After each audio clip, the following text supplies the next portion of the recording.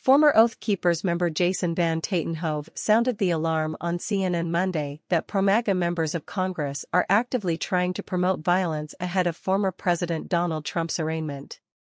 Trump, who is charged with 37 federal crimes including violations of the Espionage Act for repeatedly trying to stop federal agents from retaking boxes of highly classified national defense information from his Mar-a-Lago country club, is scheduled to appear in court in Miami on Tuesday, and law enforcement is preparing for a huge showing of anger from Trump supporters, including the potential for violence.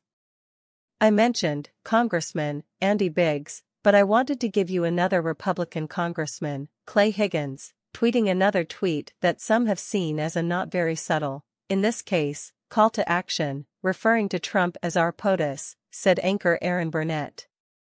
That stands for Real President of the United States. Now, I just want to note that Congressman Higgins is an Army veteran and he's using military-style language telling Trump supporters to, quote, buckle up.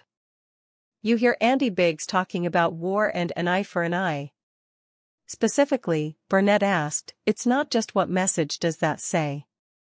Does the fact that it is coming from elected representatives in any way open the door even wider or allow and encourage violence even more? Van Tatenhove, who saw up close the violent actions of the far-right Oath Keepers militia, was unequivocal, absolutely. This was part of the playbook that Oath Keepers leader, Stewart Rhodes employed with working with local officials, grooming people to run for local office, said Van Tatenhove. Because it gives a sense of legitimacy and authority to some of the more violent rhetoric and extremist views out there. And these words are more dangerous than bringing weapons to something, because they inspire, they go on.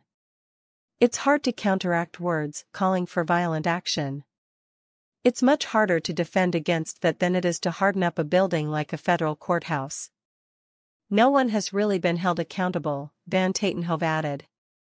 We've seen this type of rhetoric coming up to January 6th. We're just now beginning to see some sort of legal account being held. But, largely, politicians that have been using this rhetoric to get elected and increase their following and whatnot, they really haven't been held to account for the actions that they are inspiring.